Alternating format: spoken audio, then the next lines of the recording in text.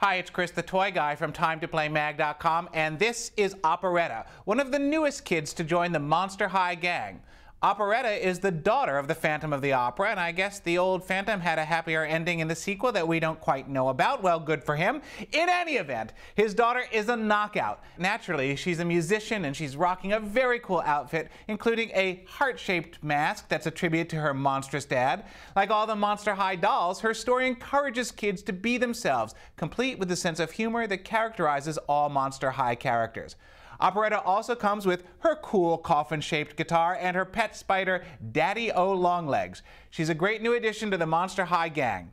For more great Monster High characters and the best reviews online, visit us anytime at timetoplaymag.com.